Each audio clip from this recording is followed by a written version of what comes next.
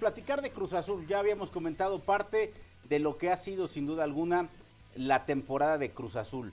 Eh, ha sido un fracaso porque termina siendo eliminado en plena reclasificación. Y yo creo que le tendríamos que sumar que ha sido un fracaso porque ha sido incapaz de meterse entre los primeros cuatro. Pero cuando llegas a la liguilla y peleas por el título, si vas creciendo en confianza, se olvida el lugar en el que te calificas a la misma. Pero aquí ni siquiera alcanzó a meterse entre los mejores ocho. Eh, queda eliminado, sí, un, gran Camilo Vargas que creo que vimos que fue factor.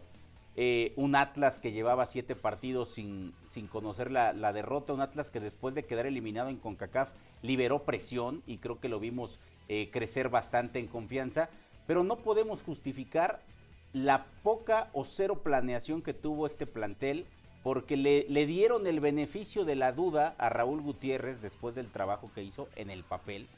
El Potro les pidió un delantero, y me refiero al señor Velázquez, y, no, y fue incapaz de traerle un centro delantero desde la salida de Santiago Jiménez.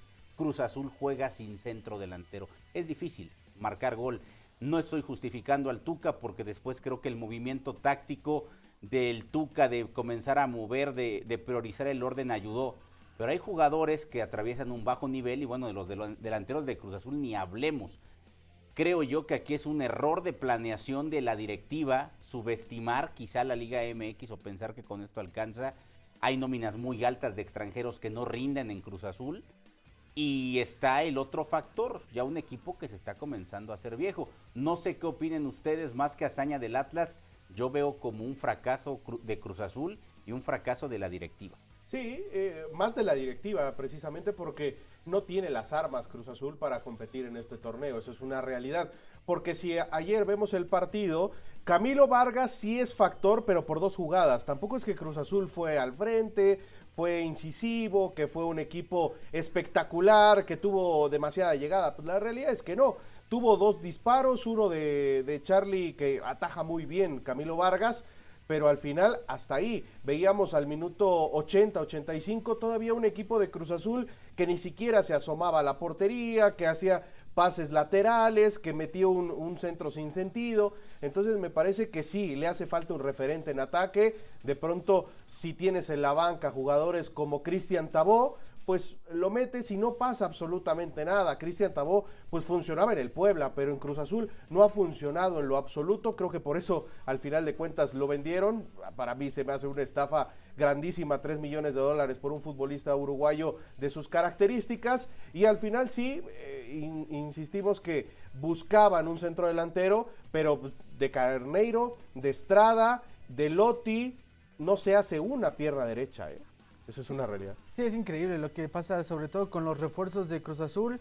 Carneiro me parece tuvo dos jugadas claras y las fallas son por errores tácticos, no, técnicos del, del, jugador uruguayo, porque un centro delantero no te puede fallar ese tipo de, de jugadas. Si tuviera que quedarse alguien en Cruz Azul de los que jugaron en la cancha, me parece que Rotondi es el único que se salva de los 11 que arrancaron. Parece que ya se vienen salidas importantes del Cata Domínguez, de Corona pero creo que Cruz Azul sí tiene que buscar reforzarse en zonas puntuales y sobre todo hacerlo de, buena manera, porque aunque lo, hicieron en temporadas anteriores, el nivel de refuerzos me parece que fueron de muy, muy bajo nivel y sobre todo me parece que la directiva se echó a la cama después de haber conseguido ese título que tanto le pedía la afición, se los dieron y volvieron a caer en esa zona de confort que les está costando y vamos a ver si el Tuca Ferretti ya empezando una temporada desde cero, ya puede hacer un mejor trabajo al frente de la máquina. Sí, hay que ver, eh, vayamos por allá apuntando los nombres de Carlos Salcedo,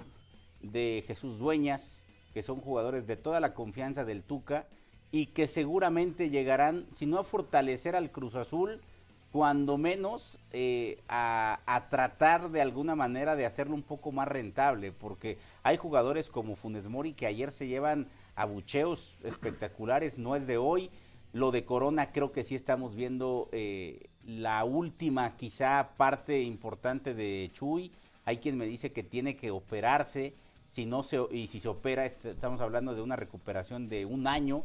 Entonces ya para la, edad que tiene Chuy, si no arregla un contrato de seis meses, creo que ayer fue el último partido de José de, José de Jesús Corona, el tema del Cata Domínguez, creo que también pudiera ser de, los jugadores que salgan. Y lo que está haciendo la, directiva de Cruz Azul es renovar, si eres mexicano, con contratitos de cada seis meses. Si eres extranjero, te dan contratos de dos o tres años. Y creo que ahí se está equivocando el señor Velázquez, que ojalá ya con año y medio contrate un delantero. Porque, o sea, ya contrató como tres entrenadores y no es capaz de traer un delantero que valga la pena. Exactamente, lo que decía, con Carneiro, con Michael Estrada, que de pronto el torneo anterior ya venía a la Copa del Mundo y ahí sí volaba, así buscaba todas las pelotas y de pronto aquí se hace expulsar, Carneiro pues tiene dos importantes y, no sucede nada con él. Y, de tres delanteros no haces, insisto, no haces un solo jugador, no haces una pierna derecha, esa es una realidad y hay que traer delanteros que metan goles. Ayer lo dice Tuca en la conferencia de prensa, que nos faltó gol. Sí, pero también te, te faltó llegada, porque tienes tres jugadas en todo el partido. Sí, yo coincido. Al respecto de Atlas, destacar que salvó el torneo calificando a los cuartos de final. Ya platicaremos de la hazaña de Orlegui en un día. No era favorito en nada Orlegui Sports y terminó metiendo a los dos equipos